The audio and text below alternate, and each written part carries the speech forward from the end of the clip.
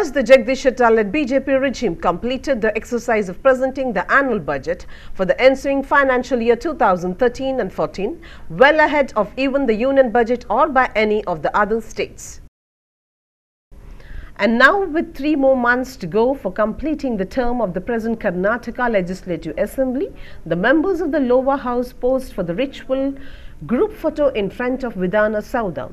Undoubtedly, the state government as well as the members of both the ruling and the opposition parties getting ready for winding up the end of the term. All ruling and opposition members participated in the photograph session.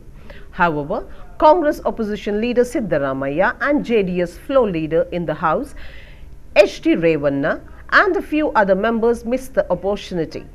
Many members who missed the opportunity said they were unaware or forgotten the program, which was held before commencement of the session. The ongoing budget session will be the last session of the 13th Legislative Assembly. The schedule for the State Assembly elections are likely to be announced anytime soon and according to informed sources, the assembly polls might probably be held sometimes in May as the final examinations for SSLC and colleges are due in the next two months.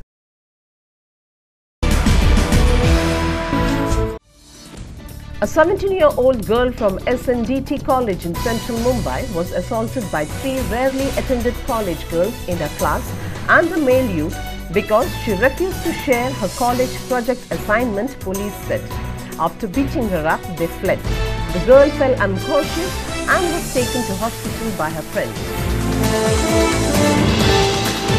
Bahrain's Welfare Forum Abu Dhabi gave a warm felicitation to Al Hajj Bakal Ibrahim Maulvi, Udupi Kalvi, who was on a private visit to UAE. The program held at Foodlands Hall in his reply to the felicitation, he laid emphasis on the problems faced by community and society back home in India. He exhorted the community members to give utmost priority for education.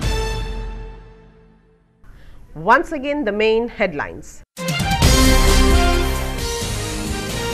Letter and logo theft caught in CCTV camera.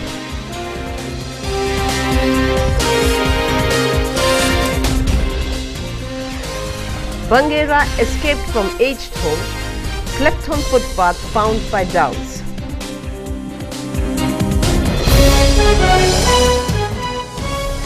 Assembly members' final pose, whole fever schedule shifts to villages.